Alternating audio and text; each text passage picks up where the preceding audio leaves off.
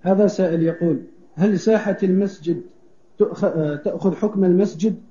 نعم كل ما كان داخل سور المسجد كل ما كان داخل سور المسجد فإنه من المسجد. وما كان خارج السور وخارج الأبواب هذا ليس من المسجد.